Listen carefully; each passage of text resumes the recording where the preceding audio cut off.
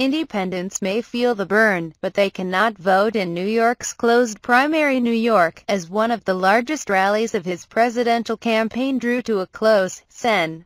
Bernie Sanders, VT, offered his voters some unusual and unwanted advice. They might lose. This is a tough race for us, Sanders told thousands of supporters in Manhattan last week. We have a system here in New York where independents cannot get involved in the Democratic primary where young people who have not previously registered and want to register just cannot do it. Boos echoed through Washington Square Park, where plenty of voters had learned this the hard way. They had missed New York's stringent deadline in October to switch party registration in order to cast a ballot in Tuesday's Democratic primary. Now, the Sanders campaign is pre-spinning a possible loss here by criticizing that rule. The challenge of competing in a closed primary such as New York's, where polls show Sanders lagging frontrunner Hillary Clinton by double digits, could serve as a final blow to his campaign. The Democratic Socialist's success has been bolstered by independent voters in states where they were permitted to vote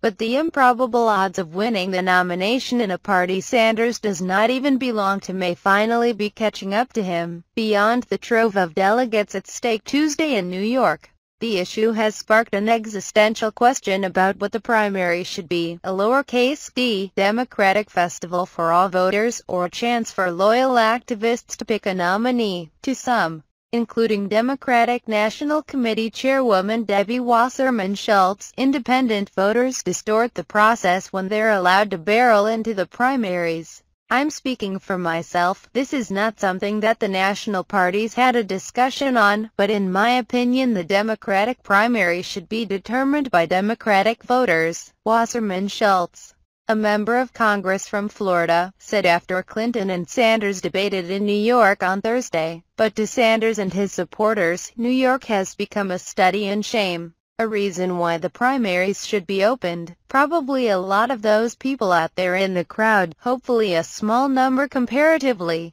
are not even able to vote in this election because they did not change their registration to Democrat last October, when they have not even heard of Bernie Sanders. The candidate's wife, Jane, said on MSNBC this week, those kind of things seem silly. We're bringing a lot more people into the party, and the party is shutting the door on them, said Ben Jealous a former president of the NAACP, the test of who can most unify and strengthen the party is informed by who can attract independent voters in the primaries. There are a lot of people who left the party looking for an authentic progressive, and in Bernie Sanders they have found an authentic progressive.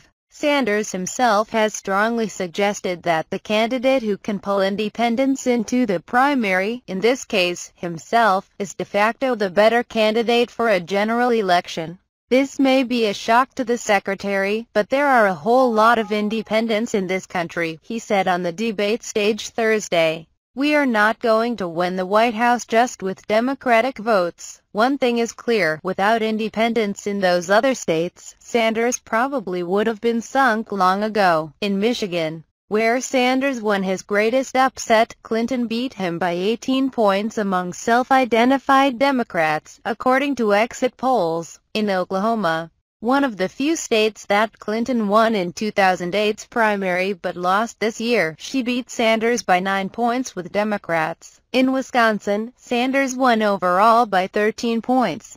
He split the Democratic vote with Clinton 50 to 50. In each case, independents who felt like pulling a Democratic ballot were able to vote for Sanders. In New York, Many of the people who crowded Sanders's rallies, some lining up for hours, Bernie buttons on their winter coats, admitted that they had not understood that New York's rules were different. Nobody told us that we had to re-register, said Tony Lance, 24, who waited three hours to see Sanders speak in Rochester. I've been an independent since I was 18. I did not like the choices until now. I consider myself to be more in the middle. Quote, Some did check the rules but could not bring themselves to become Democrats.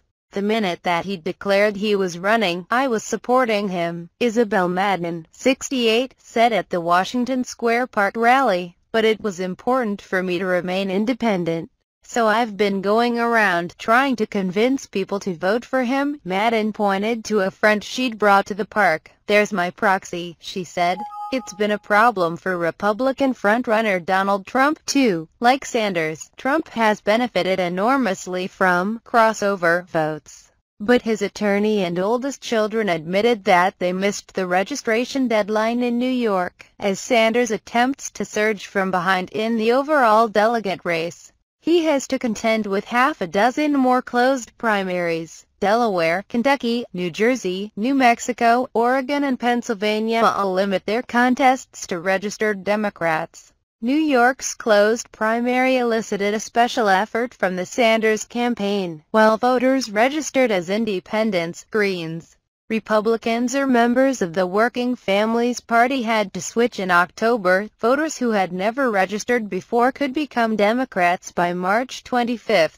The campaign made a push for those potential new voters, especially on college campus. In just the 10 days between March 10 and 20, close to 41,000 new voters joined the rolls. Still, the push came before some voters had tuned in, and before Sanders himself really campaigned in the state. It's hard to know exactly what it yielded, said Robert Becker, the campaign's deputy national field director. This month, as more Sanders fans learned of the rules, some grew desperate. Fred Thiele, an independent member of the state legislature who caucuses with Democrats, started getting more and more calls about his legislation to open up the primary.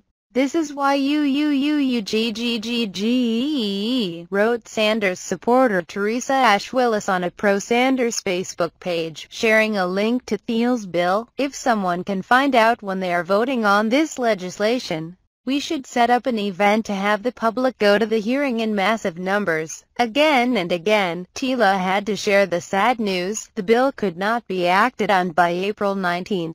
I feel disenfranchised too, he said. It's ironic that I can vote on a $155 billion state budget, but next Tuesday I cannot vote in the primary. Maybe by 2020 we can change the law. In the meantime, what I tell people is that my heart and my $27 are going to Bernie Sanders, and in the meantime, Sanders will keep holding rallies where some of the faithful will be unable to vote for him. In Washington Square Park, at least one of those voters had good news. Nika Lomazo, 21, had never registered to vote in New York. She planned to travel home to Rhode Island, where she belonged to no party, and take advantage of that state's open primary on April 26.